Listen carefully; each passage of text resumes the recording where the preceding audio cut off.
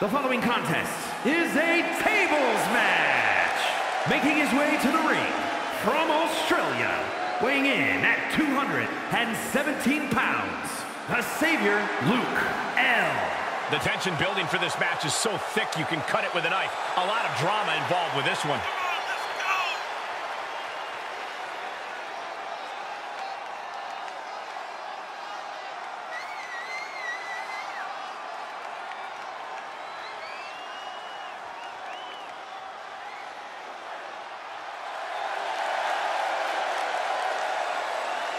He has a big match ahead of him. Going to need a career-making performance here tonight.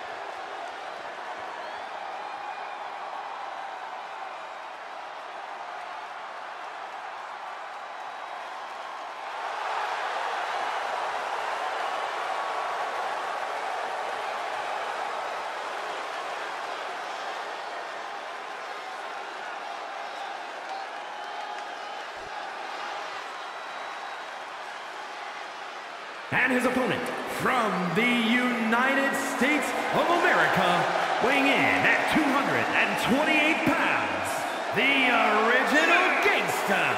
Everyone in this match is competing at such a high level. I predict one of the most competitive matches we've seen in a very long time.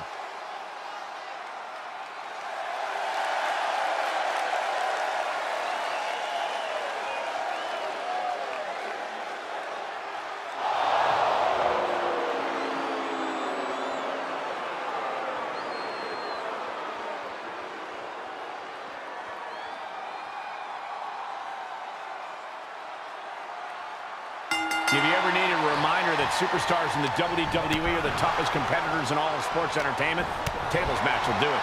What some fans don't realize is that the pain in these matches usually comes before the finale, when they're using the table as a weapon or a torture device. I definitely don't envy anyone in a tables match. I'm glad the only table I have to deal with is our announce table right here. And we just saw some serious offense.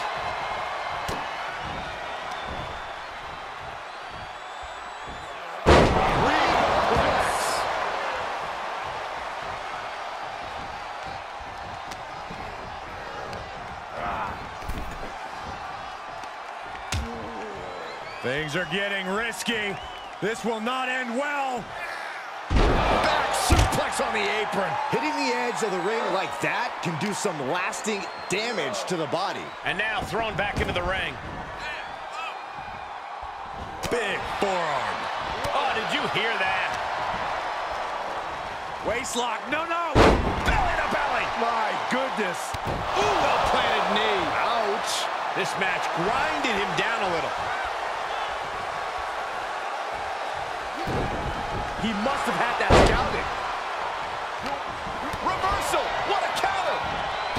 Whoa, leaping through the air. And what kind of superstar is typically favored in a tables match? The smart ones. It takes a surprising amount of planning to put someone through a table. If you can improvise, you're going to be in good shape. Punch lands. Into the corner now. Kick. Oh. Oh, man, a little extra luster behind that kick.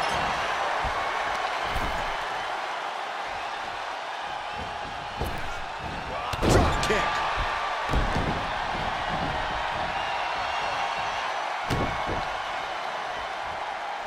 And proving a bit slippery for them there.